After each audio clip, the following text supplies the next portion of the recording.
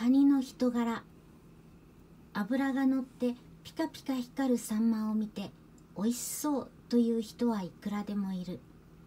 だが手足トゲトゲ目玉ギョロリの丸ごと一匹のカニを見ておいしそうと食欲をそそられる人はあまりいないのではないか。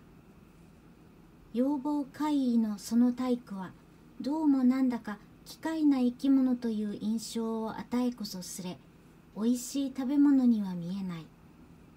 三島由紀夫を筆頭とするカニ嫌いの人たちはこの僧帽に身震いして食べるどころの話ではない。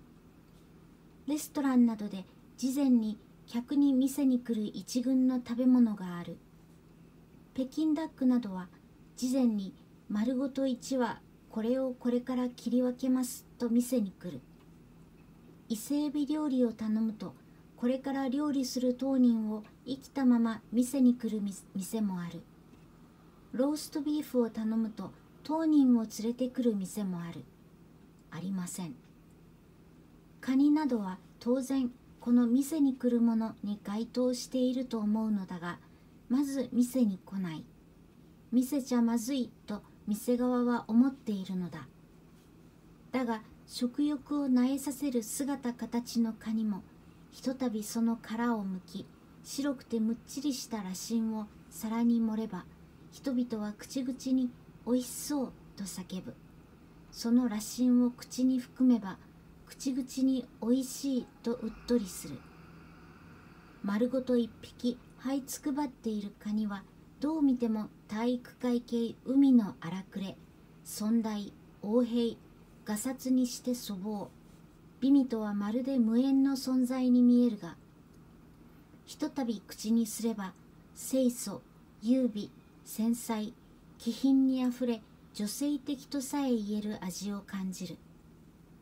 人は見かけによらないというが見かけによらない代表がカニだ。人が肉を食べるという時それは筋肉を食べることが多いがカニの肉は筋肉とは思えない肉質だ。あの肉で手足を動かしているのだから筋肉には違いないのだろうが広角に包まれたその白くて柔らかい肉は広角というパッケージに詰め込まれた詰め物のようで筋肉をまるで感じさせない。そんなものはありえないのだがなんだか植物の肉という感じがする。人が肉を食べておいしいという時その肉の中の脂肪が関与していることが多い。美味と脂肪は切っても切れない関係にある。なのにカニはその脂肪の助けを全く借りずにあの美味を作り上げているところが偉い。前人未到の快挙であると言っても言い過ぎではない。広角に詰め込まれた詰め物は噛みしめれば細くて長い繊維の舌触りがありその一本一本の隙間から海の水の味が染み出てくるにじみ出てくる。白くて細長くて無味の繊維を海水で漬けた漬物という感じもする。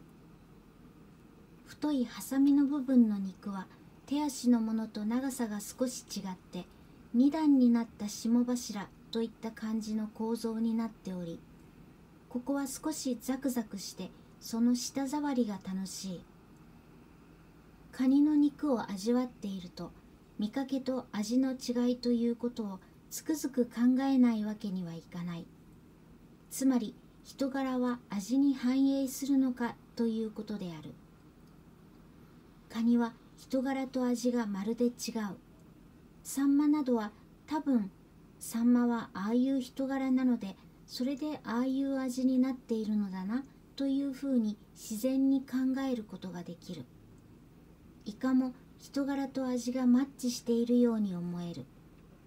多分カニは自分の味を知らないのだと思う。あるいは気がつかないでいるのだと思う。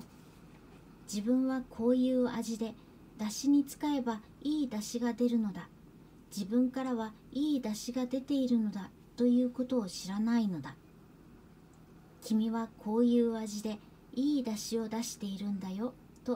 カニに知らせてあげるというのはどうだろう？カニは急に態度を改め動作などなども急に優雅になるかもしれない。カニは枝豆や落花生や天津甘栗などとともにいわゆるむき物手間物の仲間だがその厄介度はこの中で一番だと思う。中の実をほじろうと手に持てばあのトゲトゲが痛いし殻にハサミで切れ目を作ってそこから中に端を突っ込もうとすればパッカンと閉じようとするしなるべく大きな形で取り出そうとすれば崩れるし食べている間中苦労が絶えない。だからようやく大きな肉を形を崩さず殻の中から取り出した時はひたすら嬉しい。その肉がまたずばぬずば抜けて大きくてずっしりと重いとさらに嬉しい。カニは重さが嬉しい美味しい。大きく重い肉が取れると大抵の人は親指と人差し指で片端をつまんでだらりと下げ目のた目の高さに持ち上げて我が収穫をしみじみ見る。重いとすでにおいしい。ここまでの苦労を振り返るとその喜びはひとしおである。自分でしみじみ見た後人に「ほら」と見せたくなる。これは明らかに自慢である。普通自慢話は人に嫌われるものだ。人の自慢話は不愉快でさえある。だがカニの場合に限って周りにいる人のすべてが「よかったね」と心の底から祝福してあげたい気持ちになるのだがあれはなぜだろう。